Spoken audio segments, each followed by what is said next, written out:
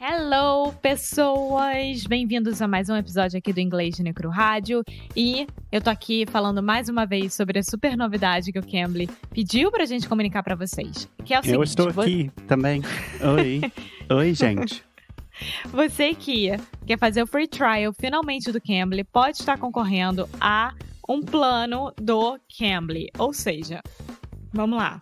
Se você quiser esse plano para você, né? Você sendo um adulto maior de 15 anos de idade, você pode ir lá no cambly.com, no aplicativo do Cambly e colocar o nosso código inglês no Cru sorteio.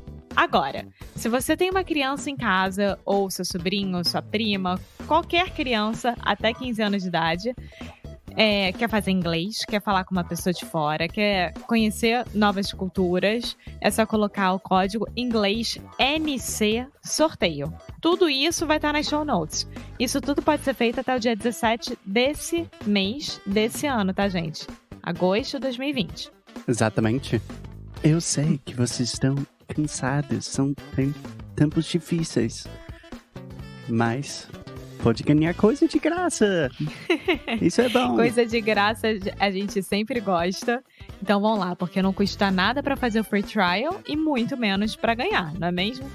Exactly. So go to Cambly, check all of this out, speak English with native speakers, and let's get on with the show.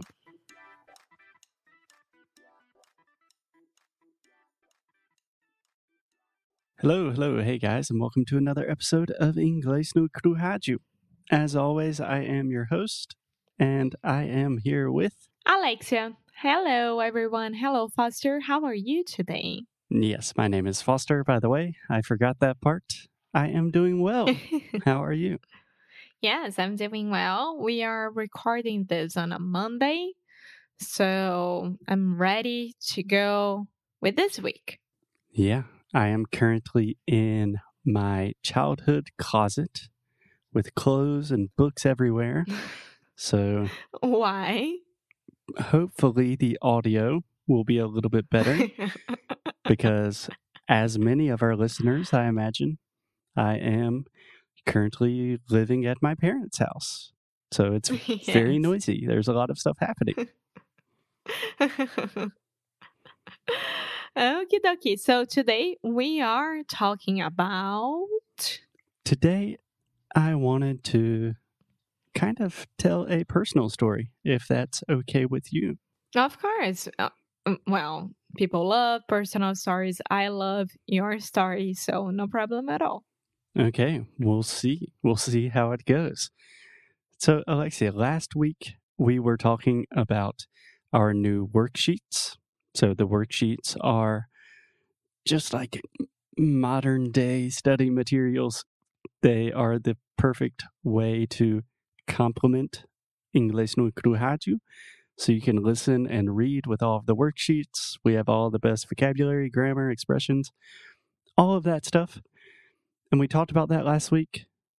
But I think a lot of people are still a little bit confused about what the worksheets are and how they can use them to benefit their English. Yeah. So I was thinking that maybe it's easier simply for me to tell my personal story and my personal experience learning language with worksheets. I think that's fair enough. Okay. So where do you want to start this story?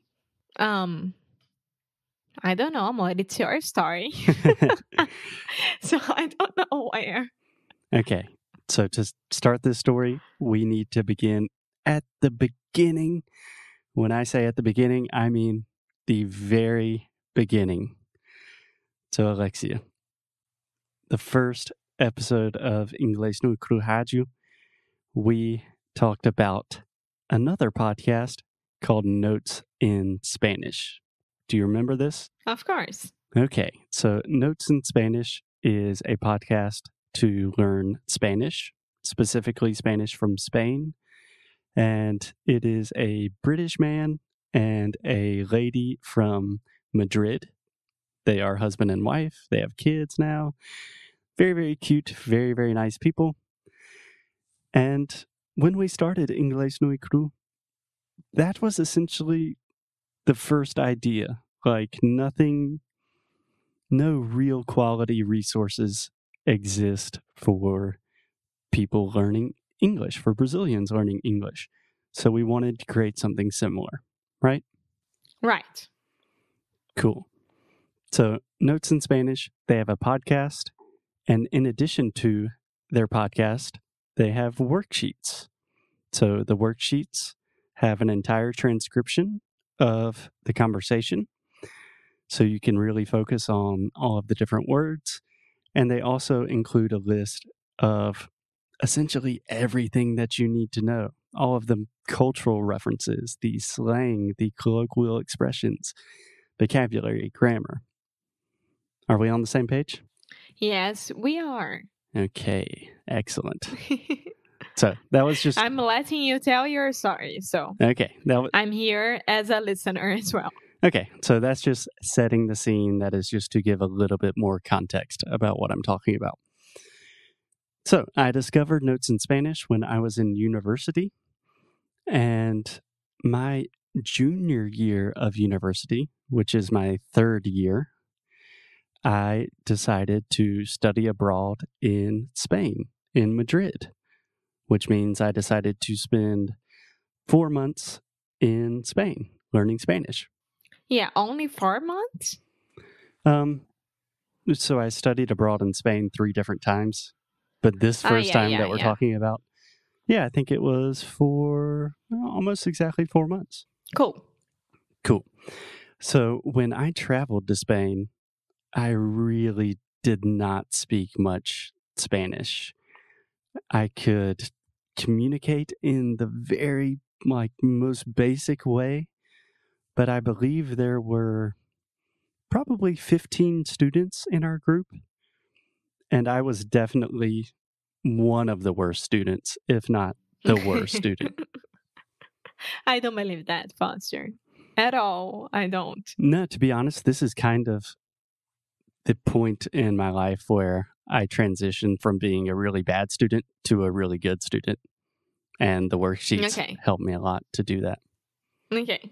Okay, so me and 15 other Americans, approximately, we are all in Spain we're all trying to learn Spanish. So immediately when I arrived in Spain, I was listening to the Notes in Spanish podcast all of the time, just walking around the city, trying to listen and repeat. And then I discovered the worksheets. So what I would do is I would walk around, you know, try to meet people, do the normal things that an American does in Spain while I was listening to the podcast. And then when I would return to my host family, I would have the worksheet from that episode. I would review all of the vocabulary. I would try to shadow. So I would try to listen and repeat in real time. And this had a crazy, crazy effect on my Spanish. Yeah, because I, I think that people they misunderstand how you should use the worksheets. It's not it's not only like listen while you read you know? It's much more than that. It's much more than that. It's it's almost the same when we are talking about like watching movies or shows with subtitles. You need to understand why you are doing that. Is it for practicing to get better at english or you're just doing that for fun Exactly. So I have three different examples that I think will really illustrate this point. Okay. Mm-hmm. Okay. Number one, we already talked about vocabulary and how useful it can be to really understand like slang, informal expressions, colloquial expressions. So when I was studying with the worksheets with notes in Spanish, they had this word in Spanish that was not a problem with my Spanish. That was just me coughing. Great timing, Foster. yeah. So there's this word in Spanish, at least in Spanish from Spain, that is zumbado. Okay. Uh-huh. But everyone in Spain, when they're speaking fast, they say zumbao, zumbado.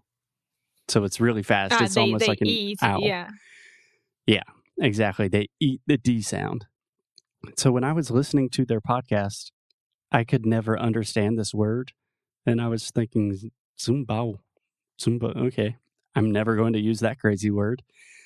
And then I saw on the worksheet, they explained, okay, this is actually Zumbado.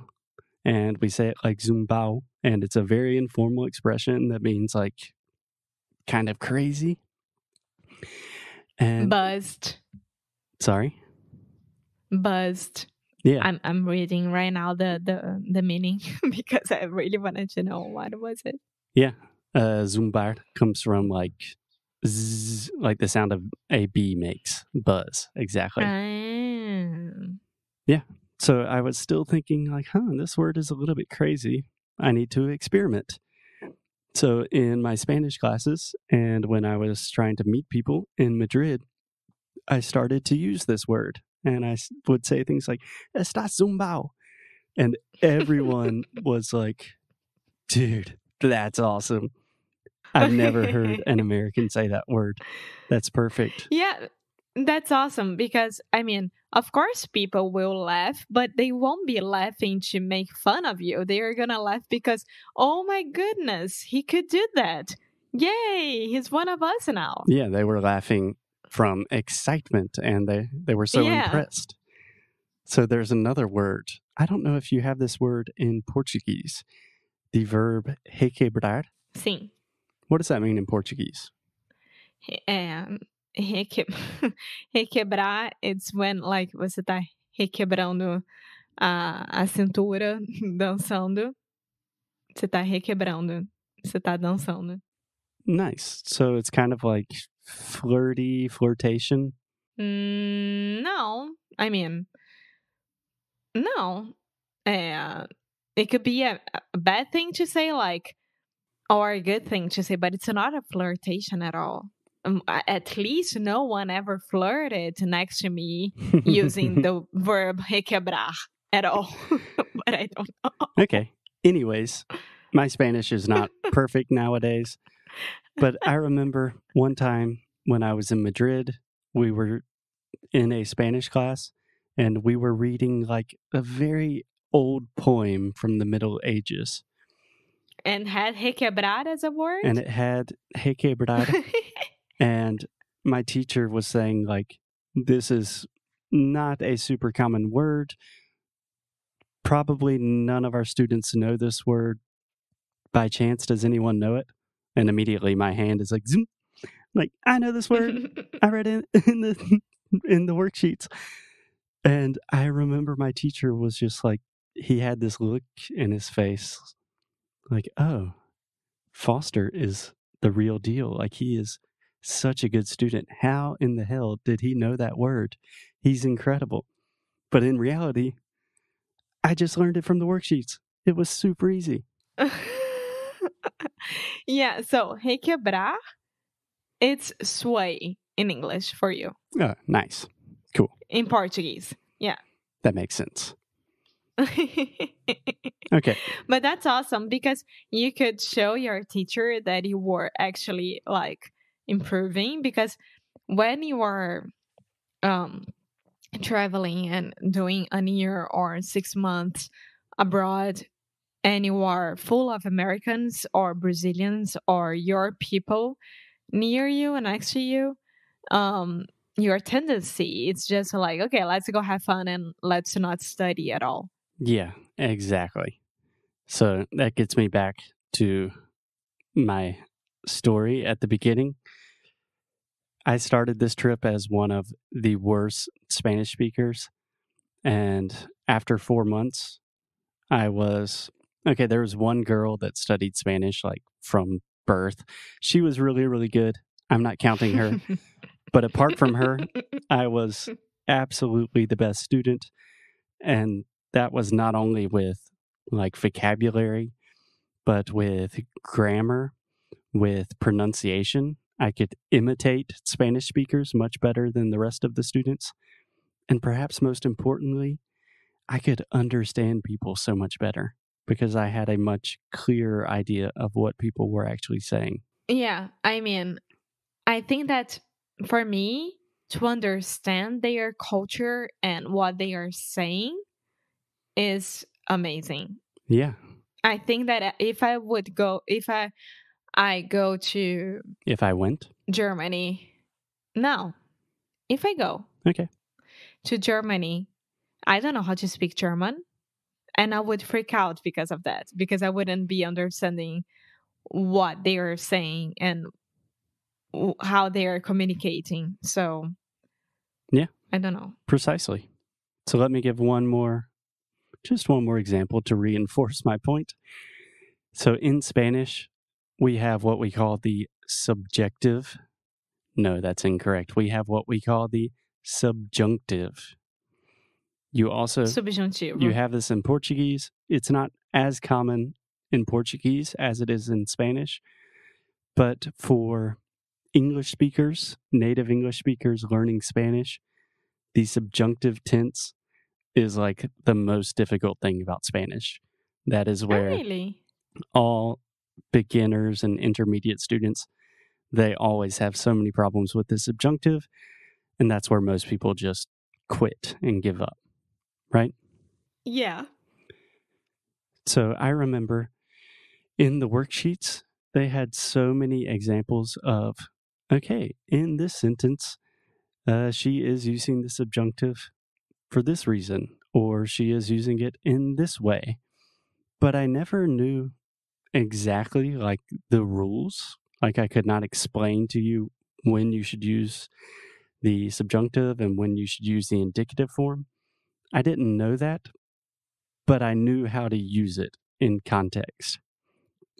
And I remember one day near the end of the semester when I was already speaking much better. And my teacher asked if I could kind of present a class, like a workshop, teaching the subjunctive to the other students. And I was thinking, no, I can't do that because I don't really understand how to like explain these things in a grammatical way, but I knew how to use them in context. So I knew intuitively how to speak Spanish. And that's the most important thing. The goal for us is to speak English fluently, confidently, without thinking too Without much. Without thinking too much. Yay! Exactly. so I think we are on the same page, Alexia. I think everyone should just experiment with some pages of our worksheets. Yes. And just to be clear, our worksheets they were made by Felipe Foster and I. And Foster he Uh, put put the comments on it, like every correction and everything that you see there. It's Foster doing, and I gave another look at all the worksheets, and I found a lot of Spanish words.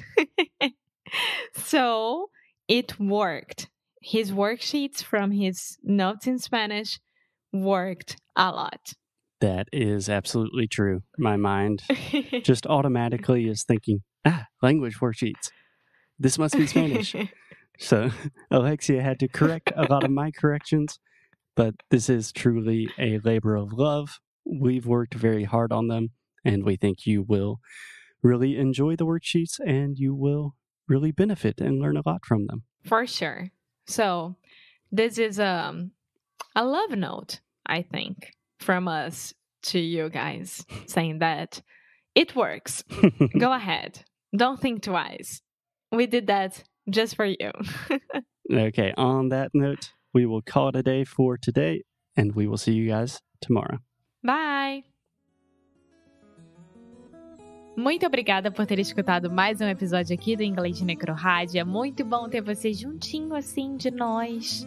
Faz muito, muito carinho no nosso coração, digamos assim. Então você que está interessado em saber mais sobre os nossos produtos e saber mais sobre a gente, o que, que a gente oferece para vocês em relação a estudo, a challenge, a curso, vá lá no inglêsdenecro.com e você pode ver mais sobre as worksheets, por exemplo, que a gente acabou de falar nesse episódio.